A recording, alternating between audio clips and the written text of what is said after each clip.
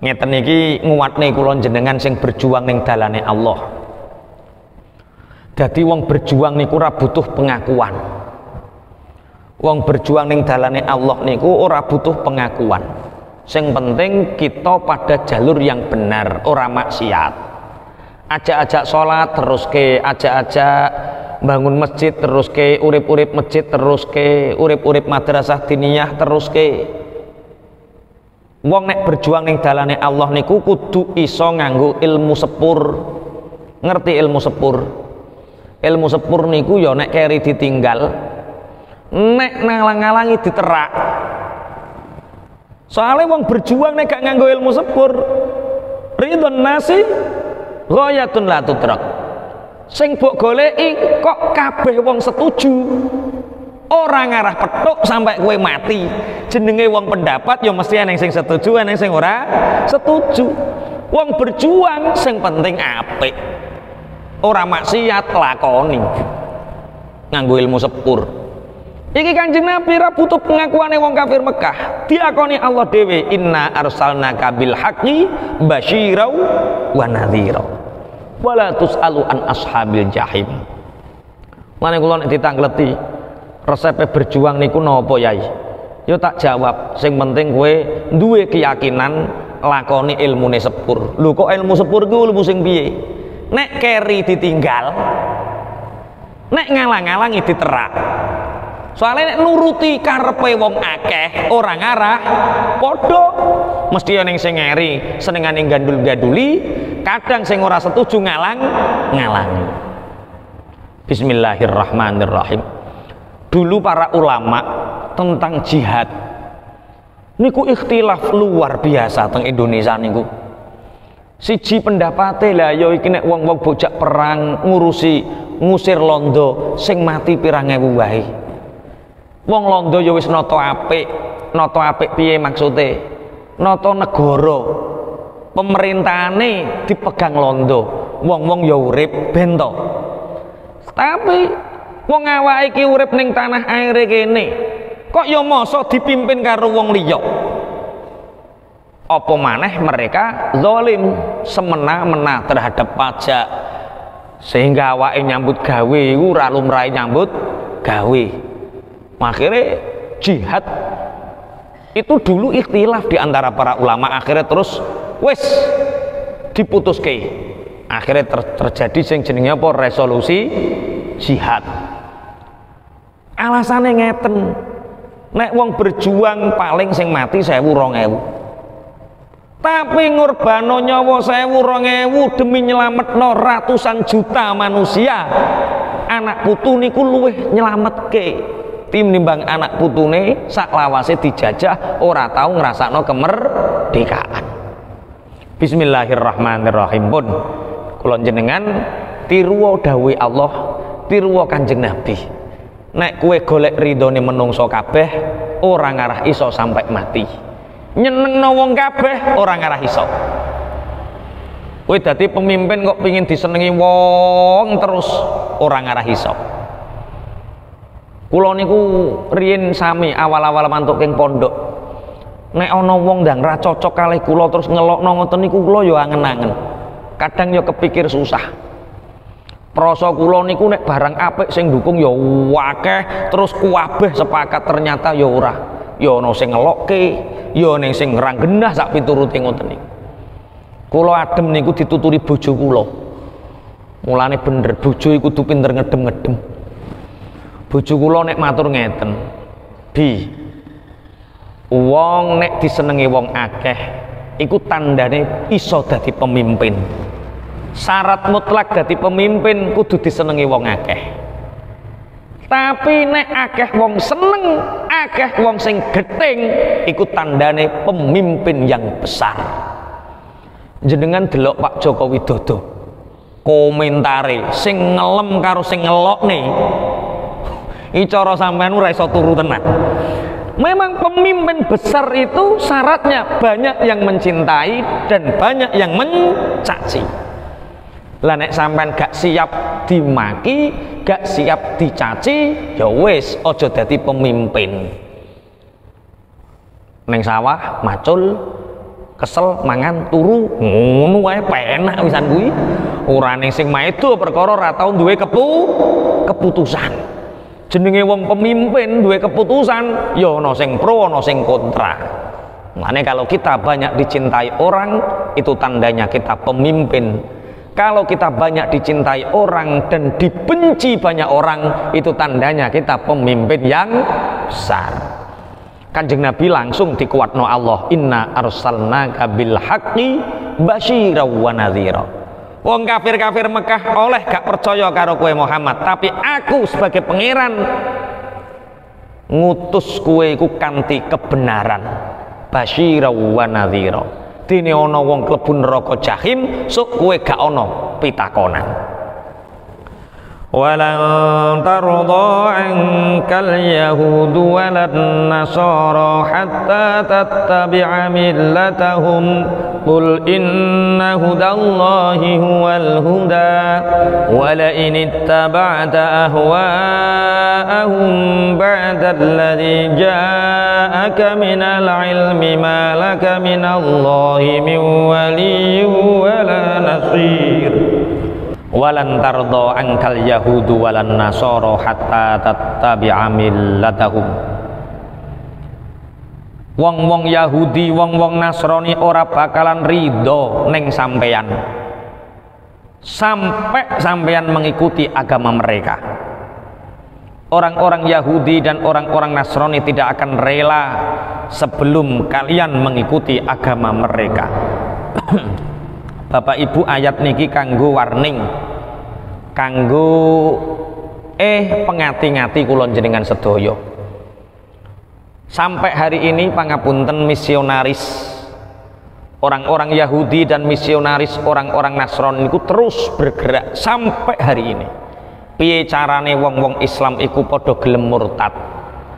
Tapi innal huda hudallah Gusti Allah juga menggerakkan para dai-dai, menggerakkan orang-orang yang berjuang untuk mengajak kepada agamanya Allah. Bapak Ibu pangapunten nopo malih nek musim bencana, masya Allah. Jadi perang identitas ini luar biasa. Kulo pas wayah Gunung Semeru meletus nih kok sempat beberapa hari, empat hari teng Lumajang menyaksikan piyambak. Roti mawon jenenge agama enten simbol-simbole nek simbole Islam jenenge Islam. Simbole Kristen simbole Kristen simbole banyak. Karena lemah sekali kadal fakru ayyakuna kufron. Wong nek wis kena bencana omah orang duwe duit orang duwe maka akidah bisa tergadaikan. Makanya kudune wong Islam ya bergerak zaman rien Gunung Kidul niku Islam sedoyo kalau nate menempuh perjalanan ajeng teng Riau dijak rencang mampir Gunung Kidul jemput tiang pangapunten satu kampung Bapak Ibu murtad sedoyo kula pados padasan padasan kangge wudu isya niku tanglet-tanglet wah wong kene wis do murtad kabeh Pak. Mboten enten sing Islam. Karek Mbah Mudin tok. Tak golek omahe Mbah Mudin. Eh nggo tuwek-tuwekan. Aku mati kudu netepi agama Islam. Kula tangkleti asal usulnya pripun? Ternyata bencana paceklik tahun puluhan tahun 80 tahun tahun 90 niku orang-orang Islam tidak bergerak ke sana agama liya sing bergerak ke sana dong ngiwangi dong ngekei panganan tapi syaratnya kudu murtad. Walam tardo angkal yahudu walan nasoro hatta tatabi amilatahum tapi juga di sebagian besar daerah banyak yang masuk Islam. Bojonegoro riyen enten kampung Kristen. Kampung Kristen nih jenenge yuk kampung Kristen. Tapi hari ini 85% mu'alaf pun Islam sedoyo sing boten Islam niku kantun 15% tapi wong wong nek darani cek kampung Kristen kula mboten seneng disebut kampung Kristen. Kula nyebut kula kampung mualaf tapi gak oleh karo pejabat pemerintah akhirnya rapat. Nek disebut kampung Kristen buktine 85% wis Islam. Disebut kampung mualaf wong wong yo ora trimo. Akhirnya terus disebut kampung toleransi. Oh ini cocok wis kampung toleransi. Nang kali tidu mboten tepi-tepi tengah sem enten sami. Binjing tanggal kali 2 September 3 September kolonili santri teng Kalimantan Tengah teng Sukamara. Kecamatan Permata Kecubung. Masya Allah di sana mu'alaf luar biasa keranten akeh alumni pondok pesantren sing terjun ke pelosok-pelosok barokai santri ning desane Rapatek Payu. Nyantri kawis cilik tenggen kula ning Mayang Kawis. Terus mondok teng langitan mboten patek suwe. Cara ning Mayang Kawis ya cek kalah karo aku. Cek kalah karo liyane. Akhirnya buruh teng Kalimantan. Barokah buruh teng Kalimantan saged ngislamne tiyang kathah. Ngantos sak mangke. Niki ndamel TPI zaman masjid kula sing meresmikan. Kula mbayangno bangun masjid ya kaya ngantulan ngene iki.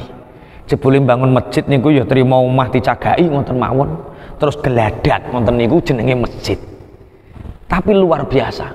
Kula nek wis kadung seneng duit kula seneng terjun nang pelosok-pelosok ngoten niku. Ben wong iku ora dituduhno duit ae ngoten. Masya Allah kebutuhanmu apa li niki sing mu'alaf enggal niki kali hatus ya rongatus wong mu'alaf. Tapi tak ulang sholat tapi rong sholat. Lah kena apa? Lah ijek blondeng rong duwe rukoh. Niki kula beto rukoh rongatus beto sarung rongatus beto jilid al abror niku setunggal atus paket. Berarti 600 buku. Kula beto tanggal luru tanggal telu. Soalnya nopo? Sangat butuh. Masya Allah tenggeriko diulang sholat urung duwe sarung. Neng kene nek takmir masjid jenenge kecatet ngono wae wis oleh sarung. Apa jenenge sarung apa kuwi jenenge? Kuwi lho ape riyo ngoten lho Pak Husain apa jenenge? Jenenge kecatet ning bali desa oleh sarung jenenge kecatet ning masjid ya oleh sarung. Lah ning kono ape sarung kangelan satu sisi orang-orang Yahudi, orang-orang Nasrani terus kepingin piye carane wong Islam murtad. Tapi satu sisi innal huda huda Allah. Satu sisi Gusti Allah ngekei petunjuk ning ngene wong-wong. Lah makane ngeten iki kula jenengan kudu pinter perang identitas. Mobil ono tulisane Masya Allah, oh identitas kita Muslim. Anak jenenge sampean anake Fatimah Zainab Muhammad Khairul Rozikin sak pituru identitas. Lah nek anakmu mbok jenengno Antonio identitasnya hilang. Padahal kita itu perang identitas. Masjid digawe kubah ngeten iki identitas Pak. Semua identitas. Supaya awak iki ngerti oh awak iki bangga karo keislaman nih pertama mulai jenengne ya kudu ono islami. Ono Muhammad Ahmad Fatimah Zainab. Ojo sampai identitas kita ini hilang. Anak wis dijenakno Antonio Albert Roberto. Loh loh loh loh ora anake sapa kuwi. Identitas nama identitas yang kita pakai. Peci, sarung, menutup aurat, identitas yang kita pakai. Wong nek macak ngene iki, oh itu identitas kita.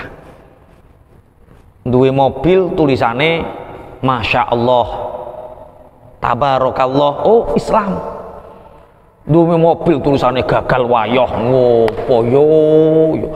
Identitas terus klub ngopo kok Duwe mobil tulisannya apa?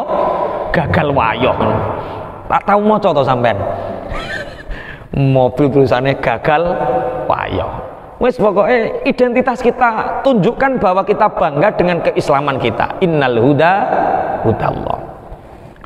Wala ini taba'ta ahwa'ahum ba'dalladhi ja'aka minal ilmi ma laka minallahi mi waliyyi wala nasir.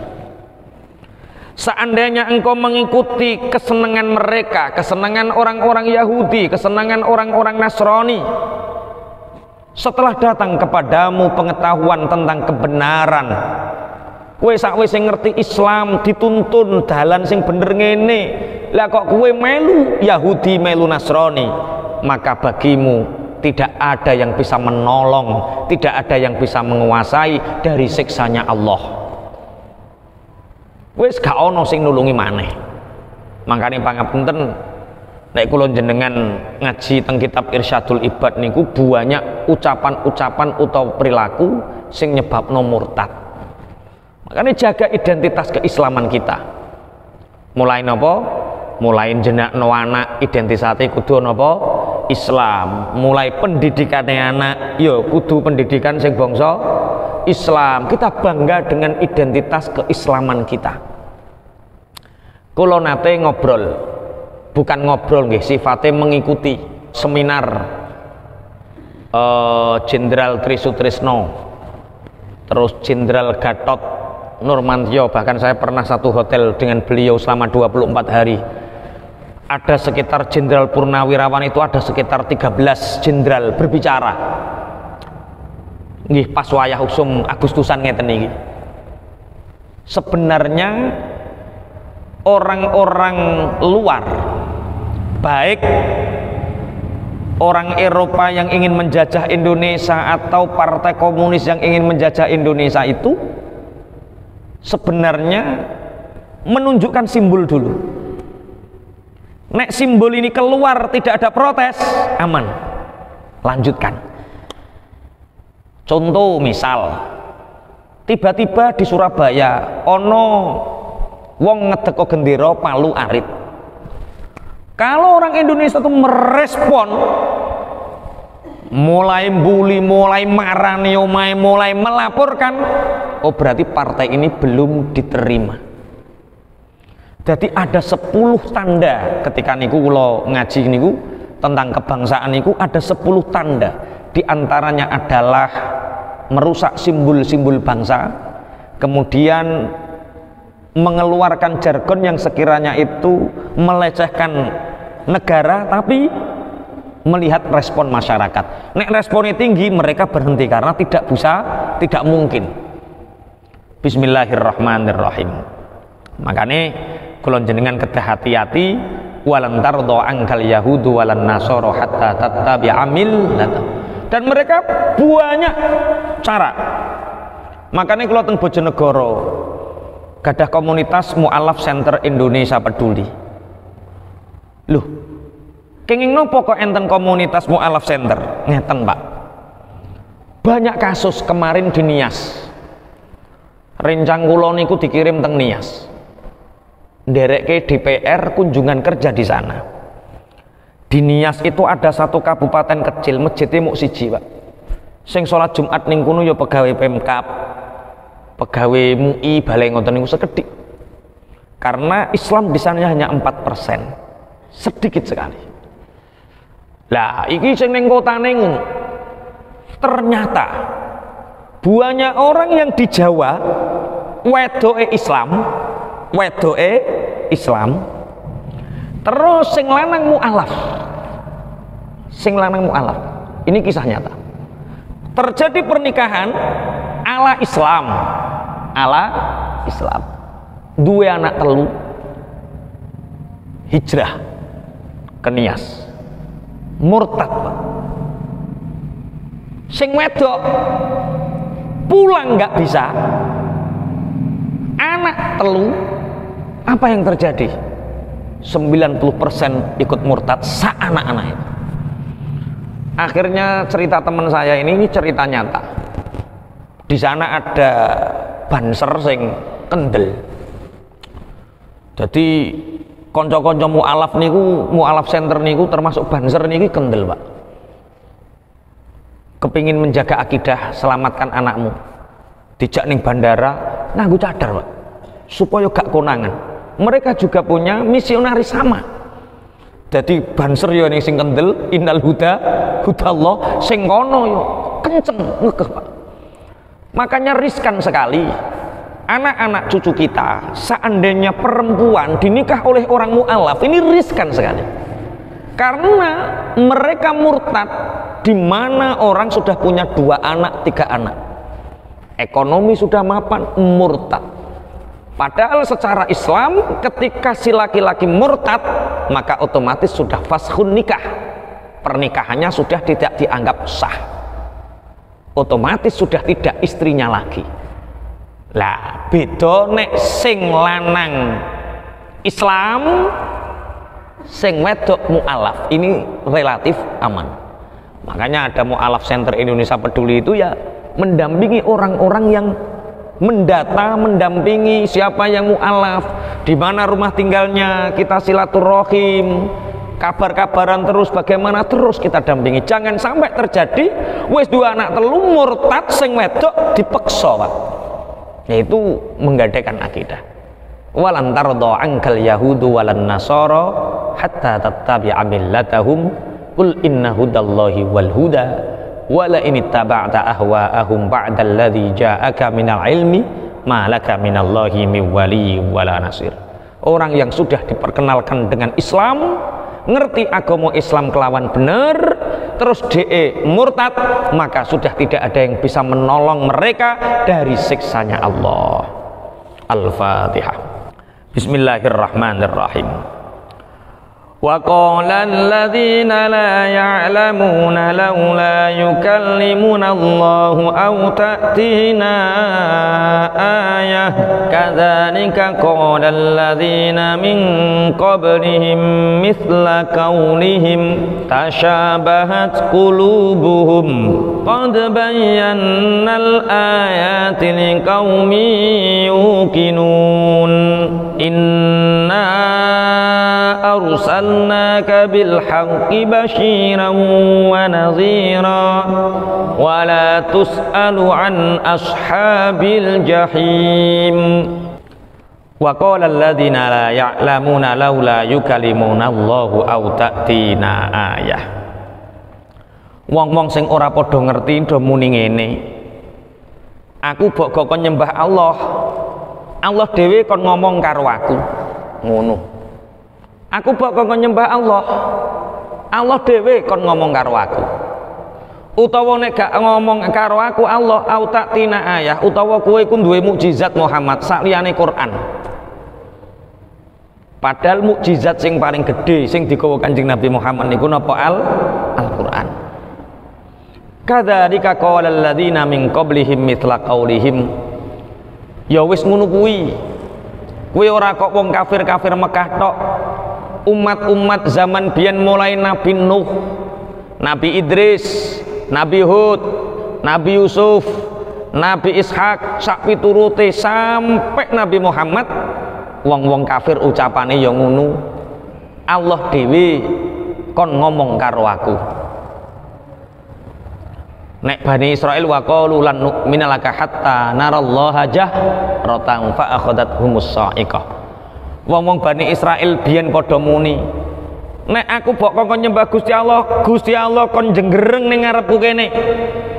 Kon jenggereng ning ngarepku kene. Omongane wong kafir zaman biyen. Zaman kanjeng Nabi wong-wong kafir Mekah padha muni. Allah dhewe kon ngomong rene. Kadzalika qala alladziina min qablihim mithla qaulihim tasyabahat qulubuhum. Hati mereka mirip serupa qad bayyana lakumul ayati ing liqaumi yuqinun. Sungguh aku telah menjelaskan bukti yang nyata kepada kaum-kaum yang yakin. Bapak Ibu pangapunten Gusti Allah niku kholik pencipta kodim yang terdahulu.